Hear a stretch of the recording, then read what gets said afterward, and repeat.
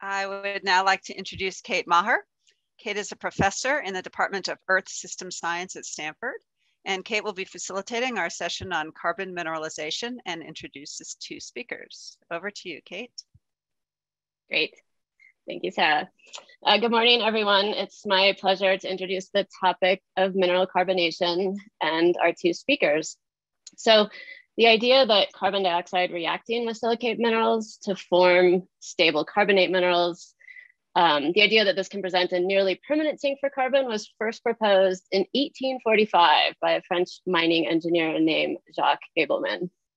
If we fast forward 180 years, we now know that the general process of mineral carbonation has been responsible for the long-term stability of Earth's climate by setting the base level removal rate of atmospheric CO2. We also know that the rate at which carbon is processed naturally through the scheme of CO2 reacting with silicate minerals is about a factor of 80 to 100 times slower than the rate at which we are emitting CO2 today. So you can really think about what that means in terms of volumes of reactants and products to scale this idea of mineral carbon, carbonation up to the, the level that we need it to be. And so I know we don't have a lot of geologists in the meeting. So one of the additional things that I'll add as, as context about mineral carbonation is that many of the minerals in glasses we would like to react with CO2 for alkalinity and base cations are actually really similar in structure to materials, um, including the glasses and ceramics that we think of or that have been proposed for permanent storage of nuclear waste. And so we're dealing with materials that, at least at the, the level of the rocks that they're encompassing, tend to be very, very non-reactive. And so that's an overarching challenge that we will discuss and consider in this session. And so given these constraints on, on volumes and, and rates, how do we scale this natural process to be part of the solution? Um, so to that end, our speakers will introduce us to two strategies. The first will be in situ or geologic storage in igneous or volcanic rocks. Um, and the second speaker will talk about, about ex situ or above ground storage, largely working with waste products. And then of course, at the end, we will have a conversation about the areas of convergence and divergence in terms of technical and technological needs. So uh, please feel free to hold your to provide your questions now or hold them at the end and, and we'll do our best to address them. And so with that, I want to introduce our first speaker, who is Don DePaolo. Don received his PhD in geology from Caltech, and he's been a professor of geology and geochemistry, first at UCLA and then at UC Berkeley. He is now currently the graduate professor of geochemistry and the chancellor's professor emeritus at UC Berkeley. Don is a member of the National Academy of Sciences, the American Academy of Arts and Sciences, and is widely recognized for his research using isotopic measurements as tracers and chronometers. Um, I'll also just add quickly that Don was director of the LBNL Earth Sciences Division, as well as associate laboratory director for energy sciences at LBNL. So he has a long history of thinking about the context of geology and, and energy systems. And including leading a US DOE Energy Frontier Research Center on nanoscale controls on geologic CO2. So thank you, Don, and feel free to share your screen and take it away. Okay, so let me start with this perspective. Uh, the um, so th this is kind of the challenge with mineralization, and Kate mentioned this. The uh, we're currently uh, putting CO2 into the atmosphere at about 37 gigatons per year, and uh, this diagram comes from a paper that I did a few years ago. Um, and we're ju just dumping it into this upper box here that has the atmosphere, the biosphere, soils, and the surface ocean. Processes within those redistribute it. Um, but the only output back to the geologic re reservoirs is the natural carbon mineralization by rock weathering. And that's estimated to be about one gigaton per year. So the problem basically, the climate problem is that one is a lot smaller than 37 and the challenge for carbon mineralization is scaling it up to the point where it can make a difference. And I think that um, you know the way to look at this is that we've managed to increase emissions from one, which is the normal background, to 37, and it might very well be possible to increase the mineralization from one to at least four or five, so that it's contributing to this uh, uh, to mitigation. So a few statements. um, show where I'm coming from with this. Subsurface mineral carbonation uh, is, is kind of an, a, a form of carbon storage, uh, but it's maybe attractive because the CO2 ends up in a permanently immobilized state. Uh, rocks that are appropriate for mineralization, as Kate mentioned, have sufficient abundance of calcium, magnesium, and iron so that they can combine with CO2 to uh, make carbonates. And those rocks are typically basalt, andesite, and peridotite. Uh, to achieve subsurface mineralization, this is a point that I think is important, takes a little time, probably hundreds of years at scale, and it's not generally instantaneous. So some people have been sort of selling this as an instant way to turn uh, CO2 into rock. I think at the scale we're talking about, gigatons, it won't be instantaneous. I'll show you some uh, modeling on that. To achieve extensive mineralization requires getting the CO2 charged water into intimate contact with a large volume of rock. That's not easy, but it's possible. And keeping the CO2 in the subsurface long enough to allow the mineralization. So this is a, a key issue here. How do you keep the CO2 down there long enough to allow it to, uh, to react? And um, I think another general point that I'd like to make is that using igneous rocks volcanic rocks largely, for CO2 disposal may be important because many populated areas around the world do not have appropriate geology for saline formation geological carbon storage. You saw the nice maps that were showed in the context of BECCS uh, of, of the United States, which has lots of storage potential. Most places in the world are not like that. Okay, so here's a simple, actually a little bit complicated um, table of um, various targets for uh, mineral subsurface mineralization, and then some of the characteristics uh, that you'll have to deal with. Uh, so what I've listed here is onshore basalt formations, onshore volcanic sedimentary formations, and onshore ultramafic rocks. And then if you go to the marine settings, you can uh, look at coastal volcanic rocks and volcanic sediments, and deep sea basalt. So things that you want to think about is are there any opportunities for structural tra- trapping that will keep the CO2 down there? And actually, one of the things that comes into play in submarine uh, uh, environments is that the bottom of the ocean is very cold, and actually below about 500 meters, it's cold. And at those temperatures, CO2 hydrate is stable. So CO2 may freeze in the presence of water. Um, porosity, permeability, and I could have written injectivity there. Probably it's about the best you can do for, for these rocks because unlike uh, sedimentary rocks where you can potentially produce oil, they haven't been drilled a lot and characterized a lot in detail. So we're guessing a lot on how permeable and what the injectivity might be. The other question is whether you need to pre-dissolve the CO2 in water before you inject it. You may be familiar with the CarbFix experiment in Iceland. Their strategy is to pre-dissolve the CO2 uh, before and then inject CO2 uh, charged water into the system. This means that you don't have to worry about structural trapping, but it, it, it reduces the amount of CO2 you can you can inject per well by a large factor partly due to the fact you need to use a lot of water. So the injection rate I put here are numbers that have come from the people working on this. Uh, for onshore basalt, like at, a CarbFix, it's about 10 kilotons per year, which is a pretty small number. Uh, but I think there are places where you could potentially inject uh, supercritical CO2 directly and maybe get up to half a gigaton, uh, half a megat. What am I talking about? 500 kilotons, half a megaton per year per well. Okay, let me uh, sort of talk about this in terms of a standard CO2 uh, storage situation. This shows you the sort of context of a, reservoir scale simulation where you have an injection well, you have a layer, uh, a reservoir, uh, porous permeable sandstone at about two kilometers depth, that's maybe 40 meters thick, and it's got a lid on the top of it, a so-called seal formation with very low permeability, and you just uh, inject the CO2 through the well, and let it go out into the formation. And you imagine this being sort of a radially symmetric situation.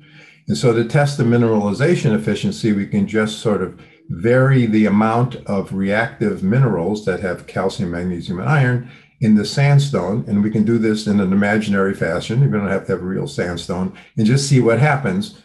And, uh, if you look in the literature, this has been done quite a few times.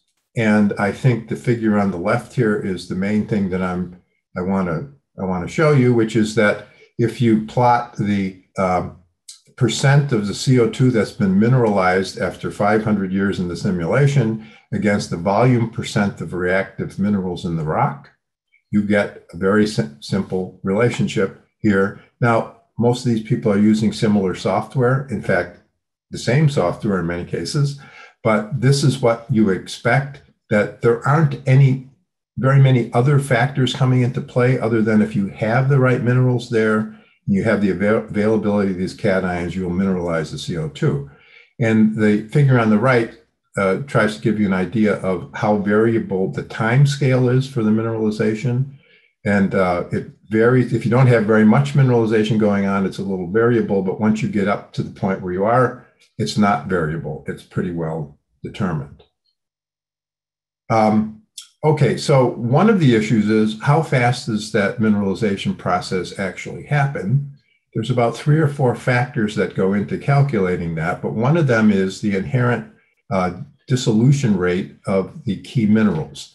So, two of the key minerals are clinopyroxene uh, and plagioclase. And uh, these are the chemical formulas in case you've forgotten them.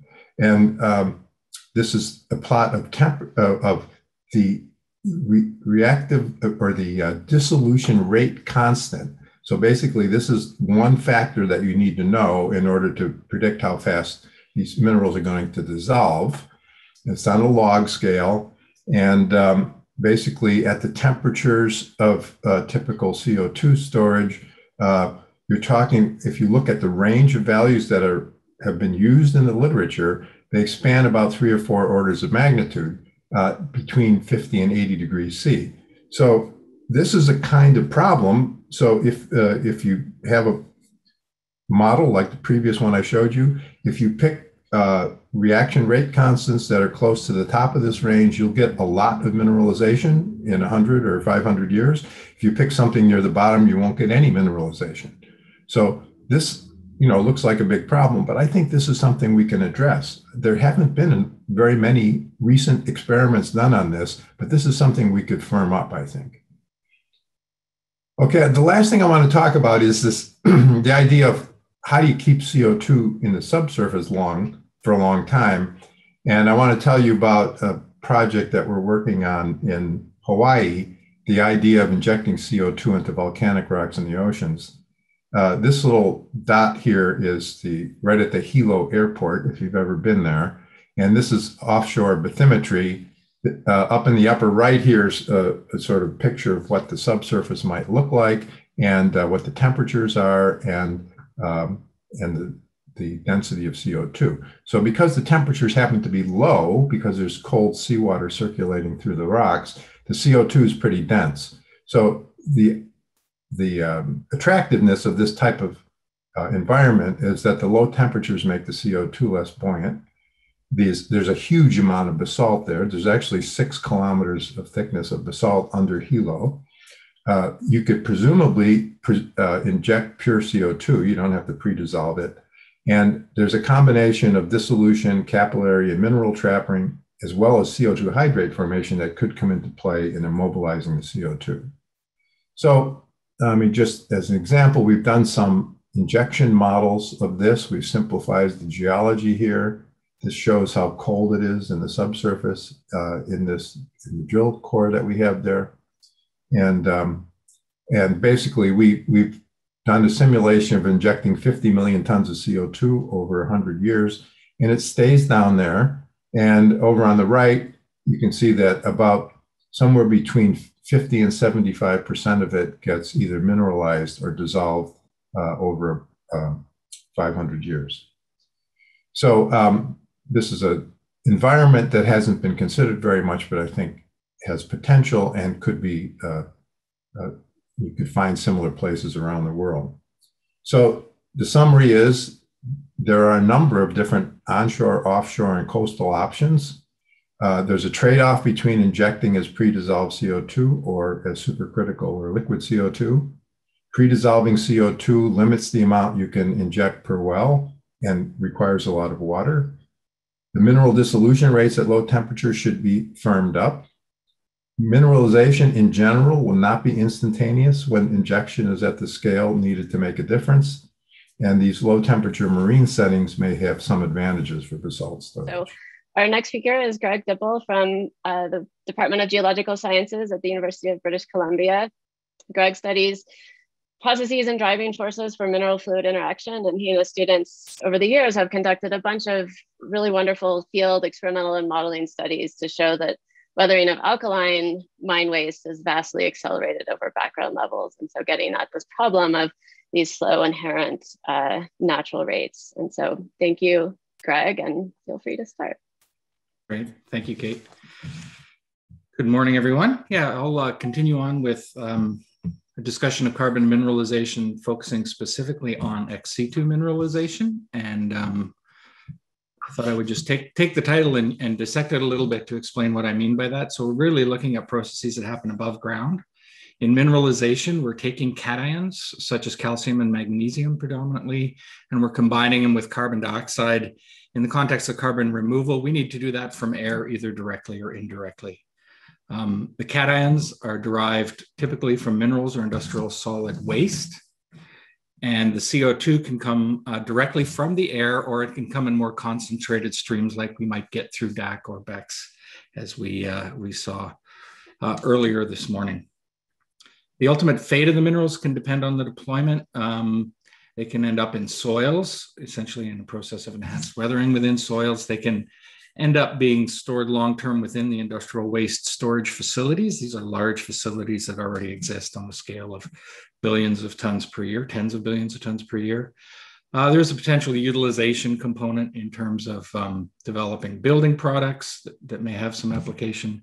And finally, some, some people actually consider that uh, the this material could reside or, or reside long term as alkalinity within uh, aqueous solutions such as um, rivers or oceans. But I won't focus on that today, given that mineralization to me generally would mean that we make minerals, not dissolved minerals. I had one here. So I'm going to quickly go through the take home points uh, that I wanted to make today, and then I will uh, uh, maybe highlight a few of these points. One is the, the capacity in the long term is probably going to be on the order of five to 10 gigatons per year, um, probably closer to, to five. Um, the cost is typically quoted at 30 to $100 per ton for a number of reasons, including some raised earlier today. I think you know we really should be thinking about processes that are closer to two hundred dollars a ton, especially if we're doing both the capture and the mineralization.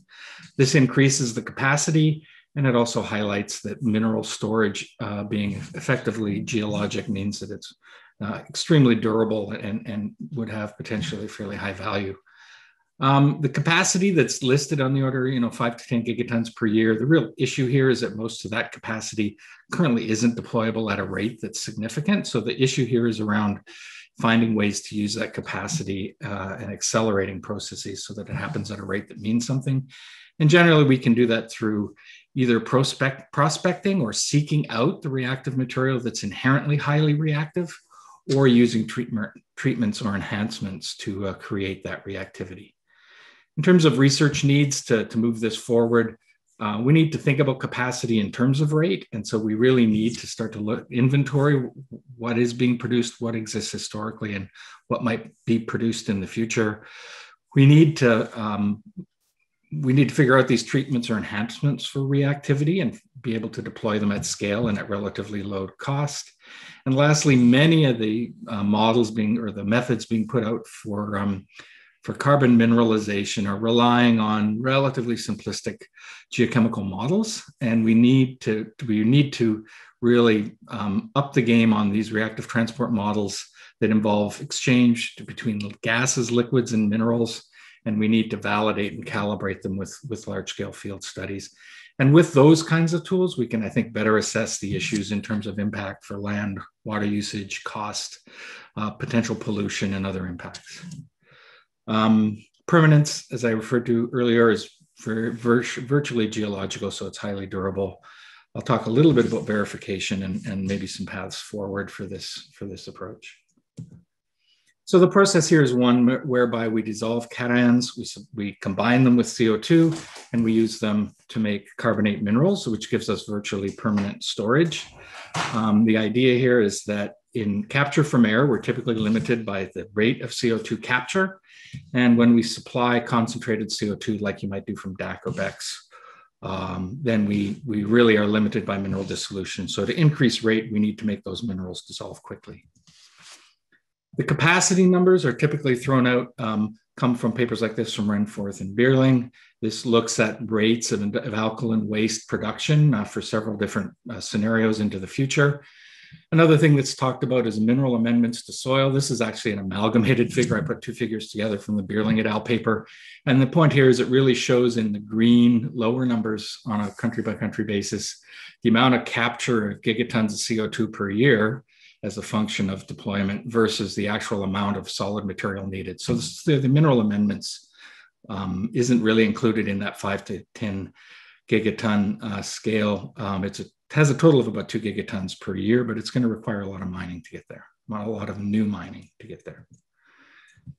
So to, these are some data from some studies we've done. When we look at mineral dissolution rates, we see typically that, that um, industrial materials and mine tailings, which are finely crushed rock as a waste stream from mine, really have two classes of reactivity. We have a fraction that reacts hundreds of times faster than, than hundreds of times faster than bulk stoichiometric mineral dissolution, which would kind of be your textbook rates. So the key here is finding those materials where a significant fraction is in that labile fraction. And so in this case here, the plot on the left is an actual mine tailings from a mine that produces 11 million tons of tailings per year. And if five to 7% of those tailings reactive capacity is labile, that means we have an option for actually using it for direct air capture. And the plot on the right just shows some of the diversity across a number of different um, minerals, mines, and industrial waste types that we've looked at. And we can see that it's extremely variable and that the reaction rate varies over many orders of magnitude. And these data come from, from far from equilibrium uh, flow through dissolution reactor studies that we do at, uh, at UBC. Just as we can, we can prospect for these highly reactive materials, we can also move curves from the left to the right through chemical treatments and enhancements. So um, just a, a, quick point on how we might uh, look to prospect for these materials. This is a result of a recent study. Uh, Mitchinson et al. preliminary report was released late last year. Final report due out uh, later this year by Geoscience BC, which is a government funding agency. This map on the left runs through central British Columbia from the Washington border all the way up to the Yukon border.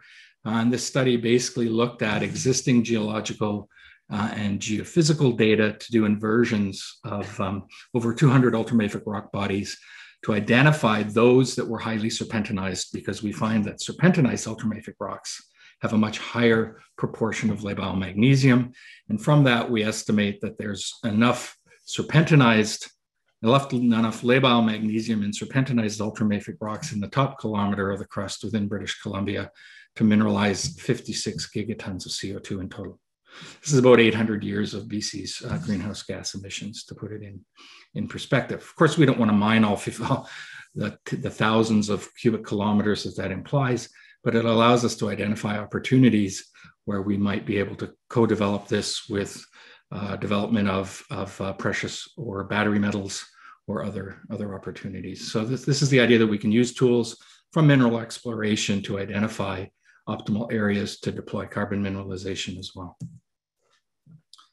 For large scale validation, we really need to, to to do reactive transport modeling in these complex systems, but we need to do them at large scale and deploy them with, uh, with uh, uh, validate them and calibrate them against field data. This is a result of one such model, which just looked at the effect of, of moving a mine in Western Australia uh, to different climates around the world and showed how the, the anticipated rate of CO2 capture from air can be substantially affected by climate uh, in this particular instance. So as we develop and improve and calibrate and validate these models, they're going to give us a lot of important information on impacts as well as permanence and durability.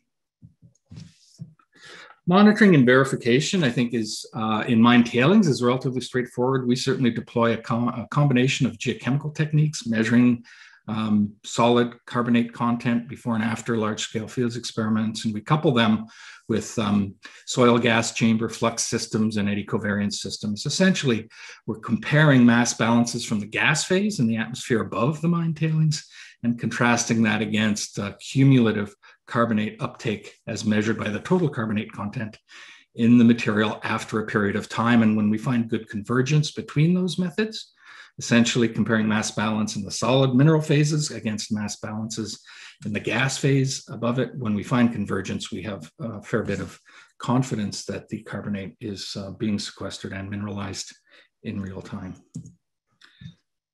The last point I was uh, wanted to make was that uh, you know there's a lot of complexity within these individual systems. I thought I'd use the example of uh, battery metal mining, uh, in particular nickel mining, to show some of the complexity. So these bars here are tons of CO2 um, mineralized or emitted per ton of tailings, finely ground rock per year. The red bars on the left show three different existing mines, depending on whether or not it's um, um, high pressure acid leach uh, laterite nickel mine versus a nickel sulfide mine versus a nickel mine running in a jurisdiction like British Columbia where the electricity generation is by hydroelectricity. Uh, we can see that the carbon footprint, there's, there's fleet emissions, which uh, are difficult to grab as a point source. Uh, so often we have electricity generation on site within a mine, so we potentially can use electricity generation as a point source of CO2. We find that the labile fraction or the reactivity of tailings actually depends on the concentration of CO2. So a single tailing sample will have a different capacity or a different labile magnesium fraction, depending on whether or not we're feeding it air, flue gas, or 100% CO2. But a lot of the reactivity it comes uh, can be can be accessed simply with reaction with air. We can think that we can match the dark colors against across the horizontal axis here, and we can use air capture to offset truck emissions, um, point sources to for flue gas capture, and if we prospect for the highly reactive tailings, that would be the green column on the far left. That represents an opportunity for many of these mine operations to operate net negative in terms of CO2 emissions. And on the far right, I show a, um, you know, where we're going to into the future. So first of all, I think that um, we will be we will be driving the mining of, of metals like nickel that are essential for electrification of transportation away from t- deposit types like laterites, which inherently have a high carbon footprint, towards the sulfide type deposits, which have an inherently lower carbon footprint of mining. Once we move them across to renewable energy and we look at transformation of the haul fleet away from fossil fuel combustion, we and if we also combine that with prospecting for highly reactive mine tailings materials, we have the potential to create a significant, significant capacity to not only completely offset the emissions of mining, but also generate net negative mining and, and carbon removal from the atmosphere in the same industrial processes that we uh, are using to generate the nickel which we need for our teslas and our and our car batteries. So i put this forward as an example that i think these kinds of these are the shorter term term opportunities that will give us confidence and, um, and pathways to deploying mineralization at larger scales. So with that, I will um, leave it at that. Uh, just again, emphasizing the points um, in uh, from five through 10, really emphasizing some future needs and areas of focus for future research. Great, thank you, Greg. Um, we're gonna go ahead and turn to the panel discussion. And I want to I want to ask both Greg and Don for their perspectives on mineral kinetics, but I, I want to start with Greg because you talked about the need for either prospecting to find these more labile materials or developing treatments. And so I'm curious if you could comment on, you know, what are some of the treatments that seem most promising? What are the different factors, cost, energy that need to be considered? Are there any that look like they might be cost effective? And then on the flip side of that, in terms of the prospecting, what controls the labile, magnesium uh, fraction and are the mining companies at all incentivized to help map out that, that potential uh, uh, quality? Great, thanks. Yeah, no, good, good questions. You know, in terms of um, accelerating uh, mineral dissolution to create more labile cations. Um, you know, the, the, the, the gold medal there would be to, to optimize uh, feldspar dissolution because there's feldspar in, so abundant in the crust and also so many of the largest metal mines in the world are in feldspar uh, uh, in feldspar rich uh, rocks. That's an incredibly hard nut to crack. I'm not sure but if someone can figure that out that would be a massive game changer in terms of of, of mineralization. Um, i think you know we're currently going back and looking at, at, at modifications or treatments that we dismissed five or ten years ago as being too expensive because now we really see the long-term carbon price at being closer to $200 per ton. And that actually allows you to think about using techniques that you know we certainly had set aside uh, uh, previously because we were focused on sort of $50 per ton solutions. I think if we're doing capture and mineralization, we should actually be targeting the one to $200 per ton processes because those would be deployable at a significant scale and, and maybe generate the benefit that we the benefit that we need. In terms of the prospecting for or um, labile cations, it's very much it's predominantly mineralogically controlled, and we're starting to build a good understanding of that. Uh, we see that it's highly variable. We've done uh, we've we built sort of proxy models where we can compute mineralogy from exploration geochemistry, and we've developed, um, you know, based on eight or ten thousand exploration analyses, we've built three dimensional models of the distribution of labile cations within, say, a billion ton nickel deposit. We find it's highly variable, and that the top, you know, two to three percent of the material has extremely high labile cation contents, and, and we've validated that by, by going out and collecting that material and analyzing it in the lab. So there are is a, a small fraction that's highly reactive within individual deposits and continuous over several meters of drill core length when these when these deposits are drilled. If those really, if that few percent of these ultramafic rocks can if we can figure out how to mine them selectively in a way that has a low carbon footprint and not and not too uh, not a large uh, stripping ratio then we really are enabling um, you know that would be that would be a game changer within these deposits. You can imagine if you had capacity within british columbia alone for 50 plus gigatons you only if you only got 1% of that that would still be a very significant rate of carbon mineralization um, within within the context of british columbia alone and also you'd be really reducing the amount of mining if you can if you can find ways to do this selective mining. So those are technologies and approaches that the mining industry has to come up with. In reference to your last question they are strongly motivated. You know several of the biggest mining companies in the world have declared that they will become carbon neutral and they have no idea how they're going to get there by and large i think but also, there's a significant players in the mining industry are the junior companies. They're the ones that actually find the deposits. Most of the nickel deposits we work on are being developed by junior companies, and they just want to sell it up the food chain to the larger companies. And if they can demonstrate high, high reactivity to CO2 in the last 12 to 18 months, that's become a game changer in how the interactions between the juniors and the multinationals go. So there's a huge amount of motivation within the mining industry to figure this out. Mm-hmm. Interesting. Thanks, Greg.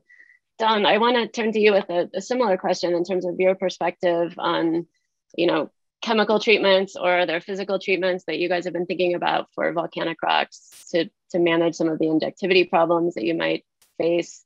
Um, you know, what do you see as being potentially important to address in that in that area of the kinetics of in situ injection? Well, I think the the biggest problem is to get some reliable data on what the rocks are like as they are now. Uh, um, you know, if you're working at on materials sitting at the surface, you can do some tests on them, but uh, you have to work in wells and you have to, uh, it's expensive to work downhole. And so um, the question is whether there's going to be enough interest from people who are willing to fund this kind of thing to do the downhole work that's going to be necessary to characterize things like uh, uh, reactivity and injectivity in basalts as you know the ones that we think might be reasonable targets. Um, once we have that information, we might have some ideas about how to improve it. But I think you know the problem with operating at scale is that if you're going to do gigatons, you you you, you sort of have to have the natural uh, resource giving you what you need. Um, it's hard to change it and, and do that economically, uh, especially if it's underground. And, and kind of a related question, Don, um, you know, you've mentioned the majority of demonstration sites, CarbFix and the PNNL site were, were really low injection rates and often CO2 mixed with water. If, if you really were able to propose, you know, what's the next step up in scale that we should be thinking about to understand this process better? Do you have like a, a conceptual model in hand, on hand in terms of a field test that you would, would like to see happen? Well, what it comes down to is what is the vertical permeability of, of sections of basalt that are thick enough that you would be confident to be able to inject into them at the at the appropriate depth. Um, the the um, you know right now CarbFix. I mean the, the other problem is you know if you could instantly mineralize the CO2, then you wouldn't have to worry about it. I just don't think that that's that's likely. Uh, CarbFix in their second, uh, you know, the first version of CarbFix, they only injected a couple hundred tons of CO2, and they and they got most of that mineralized, I think. But now they're they're injecting about 10,000 tons per year, but they're injecting it into a geothermal system at 250 degrees C, where they can pretty much guarantee that the reactions are going to go fast enough to mineralize the CO2. But you know, restricting the uh, that strategy to geothermal systems in basalts is very restrictive. I mean, that's that's not going to be very many places around the world where you can do that, or would you where you would want to. And they're still only up to ten thousand tons per well per year. So I think we need to find places where we can, you know, throw the CO two in there as pure CO two and um, expect it to stay down there and be dissolved, mineralized, frozen into hydrate or whatever it takes. But I think uh, in the long run, it will get mineralized, but it might be a thousand years before it gets mineralized. Main point is to make sure it doesn't come back up. And you're not going to have a shale or some you know really low permeability sedimentary rock to cap it. But there may be enough uh, uh, variability and, and, and low, low permeability layers in these basalt sections that it will stay down there. But we need to do those.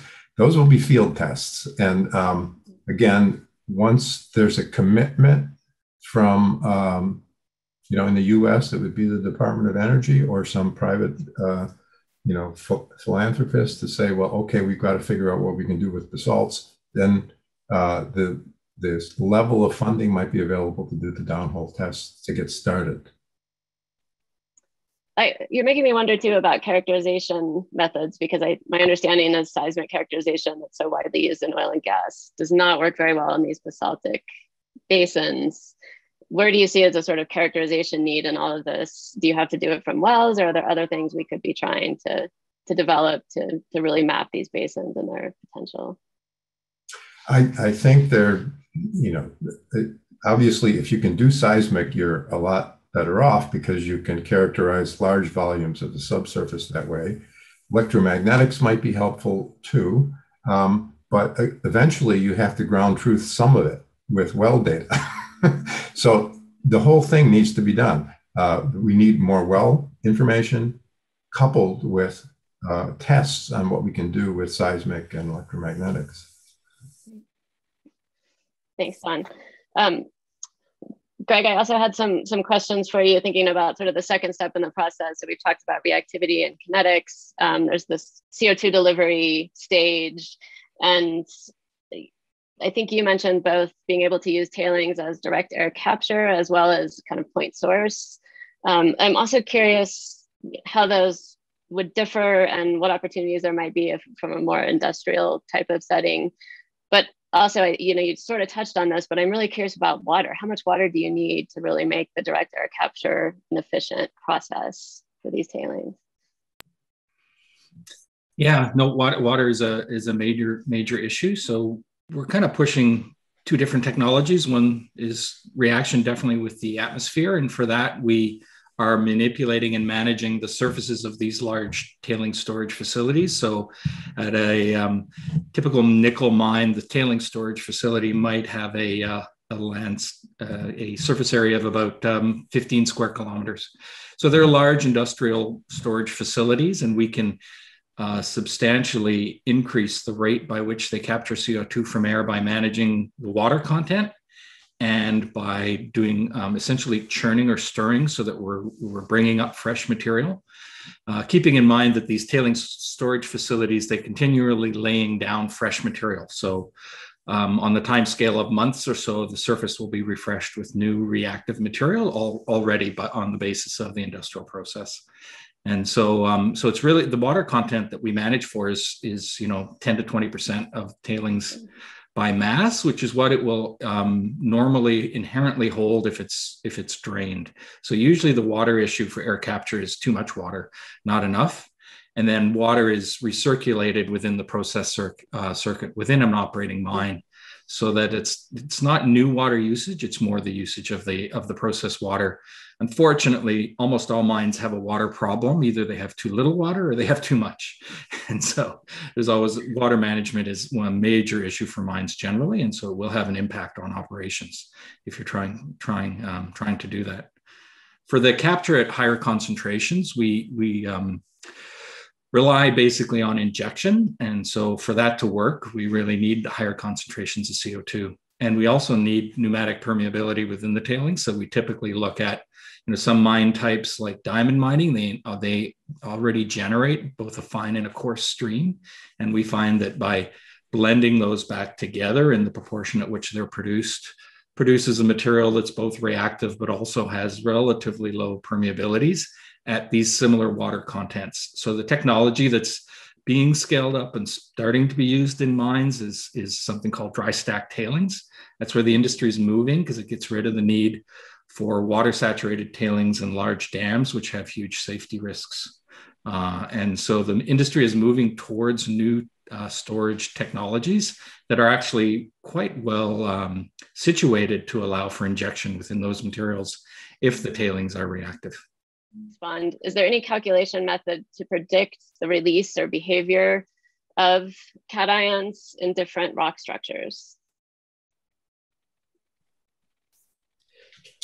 um, if I understand the, the, the, the, question right, I mean, at, at, what rate will they be released from the minerals to be available to make min, uh, make new carbonate minerals? Yeah, I think the question is is related to your maybe your slide, Don, where you were talking about, you know, we know the kinetics of these different minerals. We have a, a big amalgamation of different minerals. How can we, what methods do we use to predict the release from those rock packages?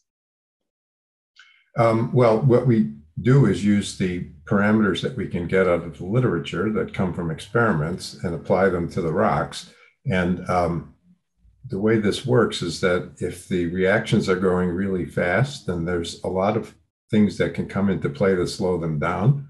But if they're not going that fast, then you, we can predict it reasonably well. And it comes down to whether we know those uh, reaction rate constants well enough.